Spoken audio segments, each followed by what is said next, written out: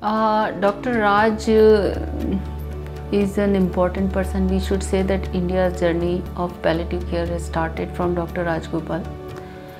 I think he is exceptionally a dedicated person in area of palliative care and he has really worked hard to develop palliative care in the country. And uh, although now many people have uh, are working in the similar fashion, but uh, ultimately the journey or the motion has started from Dr. Rajagopal's.